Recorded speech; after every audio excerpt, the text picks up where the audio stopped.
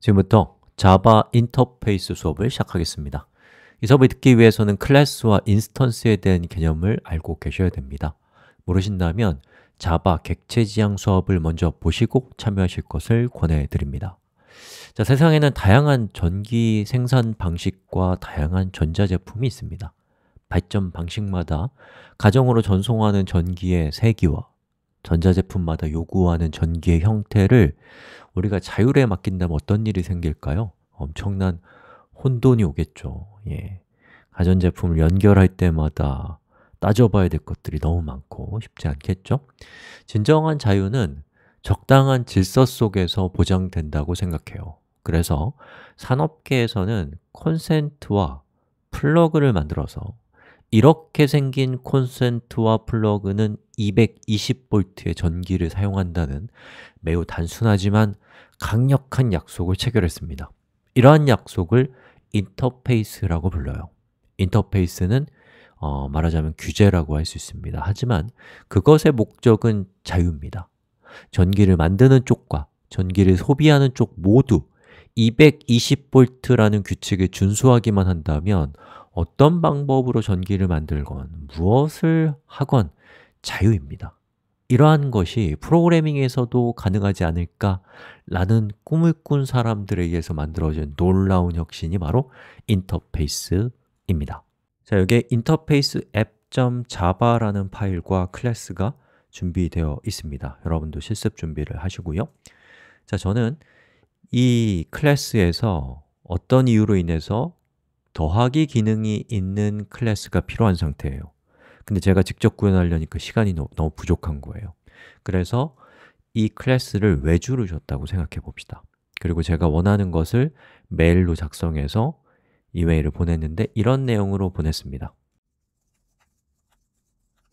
자, 이렇게 했더니 저는 저대로 잘 얘기했다고 생각하고 상대는 상대대로 잘 이해했다고 생각하고 각자 작업을 진행을 하는 것이죠 자, 그러면 저는 일단은 가짜 클래스를 만들어서 진짜 클래스를 외주 업체에서 나중에 공급할 거라고 생각하고 일단 작업을 진행할 수 있겠죠.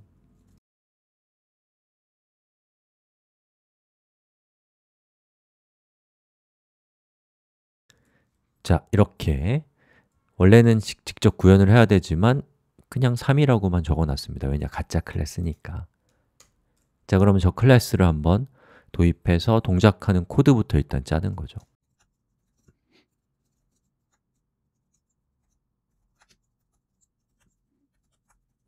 자, 이렇게 해서 실행하면 여기 있는 이 가짜 클래스의 가짜 method가 실행이 될 것입니다. 그리고 저는 이 더미 클래스에 해당되는 클래스를 기다릴 겁니다. 자, 그런데 안타깝게도 비극적이게도 상대방은 이런 클래스를 만들어서 우리한테 납품한 거예요. 이렇게요.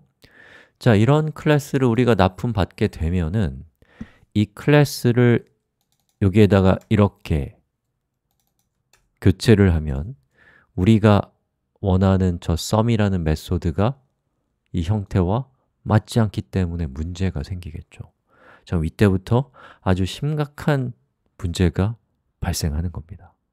예, 잘 한번 상상해 보세요. 이런 오해의 지옥 속에서 우리를 구원해 주는 도구가 바로 인터페이스입니다. 자, 저는 이제 더 이상 이렇게 불분명한 방식의 커뮤니케이션을 하지 않기로 결심합니다. 그리고 어, 우리 외주 업체에게 말로 설명하는 것이 아니라 자바의 기능을 통해서 규격을 엄격하게 준수할 수 있도록 유도할 수 있습니다. 자, 한번 해보죠. 자, 지금 제, 제가 필요한 게 뭔지를 한번 적어볼게요. 저는 sum이라고 하는 이름의 method가 필요합니다. 이 method는 입력 값으로 정수 두 개를 받는 method예요. 그리고 이 method는 출력값 역시도 정수인 method입니다. 예. 자, 그리고 이렇게 생긴 method가 필요하다라는 저 규칙에 이름을 붙이는데 저는 저걸 계산 가능한 이란 뜻에서 cal, cu, la, ble 이라고 이름을 붙였습니다. 자, 그리고 이것은 이제 인터페이스이기 때문에 앞에 인터페이스라는 키워드를 붙였고요. 중괄호 열고 중괄호 닫아서 calculable이라는 인터페이스의 범위를 지정해 줬습니다 자, 그리고 제가 만든 저 클래스에다가 implement calculable이라고 이렇게 하게 되면 아무 문제가 없는데 만약에 제가 이 메소드를 지우잖아요? 그러면 에러가 딱 뜨면서 컴파일조차도 되지 않습니다 자, 또는 제가 여기 있는 이 sum이라고 하는 이름을 calculable과 다른 이름인 plus로 바꿔보면 이것도 마찬가지로 계약 위반이기 때문에 컴파일 자체가 되지 않습니다. 즉, 우리가 어떤 클래스를 만드는데 그 클래스가 어떠한 인터페이스를 구현하고 있다고 했을 때 컴파일에 성공했다는 것은 우리의 클래스는 그 인터페이스가 규제하고 있는 형태를 정확하게 엄수했다라는 의미가 되는 것입니다 자, 그럼 저는 불분명한 말이 아니라 자바에서 클래스의 형식을 지정하는 calculable이라고 하는 인터페이스를 전달을 해주면 개발사에서는 어떻게 하겠어요? 클래스를 이렇게 만들겠죠? 그리고 implement라고 하고 calculable을 구현한다라고 이렇게 한 이상은 calculable에 적혀 있는 이 method와 똑같은 형태의 method를 구현하지 않으면 컴파일조차 될 수 없기 때문에 컴파일 되지 않는 걸 납품한다는 건 불가능하잖아요.